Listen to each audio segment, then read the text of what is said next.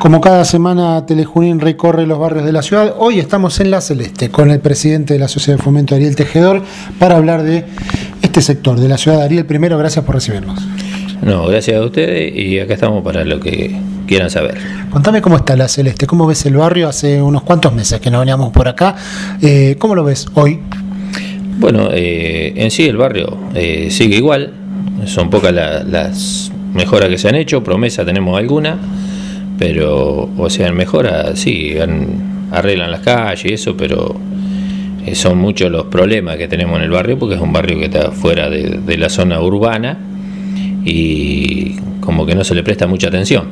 Empecemos entonces, pues ya que nombraste el tema de las calles, eh, ¿cómo están en general? ¿Cuáles se arreglan? ¿Qué les falta? ¿Cómo la ves en general? Bueno, eh, las calles que se Digo, perdóname, siendo que es un barrio que tiene pocas calles asfaltadas. Sí, sí, calle asfaltada tenemos de la, Sota eh, en su totalidad y Arquímedes tres cuadras. todo el asfalto que tenemos en el barrio. Bueno, las calles medianamente se mantienen, pero están muy, muy, muy, muy hechas pedazos de acuerdo a la lluvia que tenemos, no dan abasto para, para limpiarla, para acomodarla. Eh, nosotros el problema más grande siempre lo tuvimos en calle San Lorenzo, desde Bauman hasta Chile, que es lo que comprende el barrio.